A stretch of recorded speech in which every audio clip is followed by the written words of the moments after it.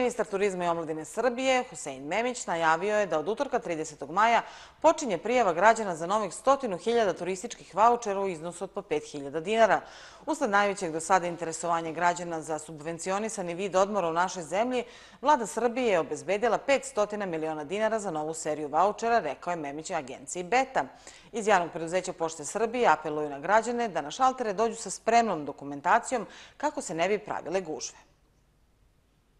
Takođe želimo da napomenemo, odnosno da podsjetimo korisnike da bi čitava procedura na šalterima išla jednostavnije, brže i lakše, da je potrebno da prijavu za subvencionisan smeštaj, za vouchere skinu sa sajta ga pošte ili ministarstva turizma, tako da sa popunjenim prijavama već na šalteru pošte mogu da dođu. Očekujemo, znači, ponavljamo još jednom, utorak 30. maja kreće aktivnost oko prijavljivanja za subvencionisan smeštaj na šalterima velikog broja pošta. Otprilike 1200 pošta će biti u prilici da otvori šaltere za ovu uslugu.